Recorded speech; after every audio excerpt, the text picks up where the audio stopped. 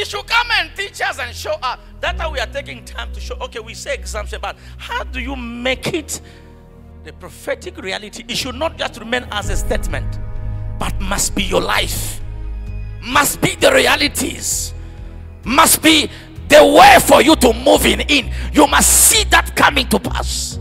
And I lift up my right hand as a prophet.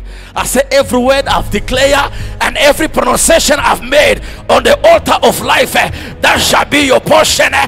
Ten sounds shall fall by your side, eh. ten, ten sounds end eh, by your right hand. eh. You shall never be affected.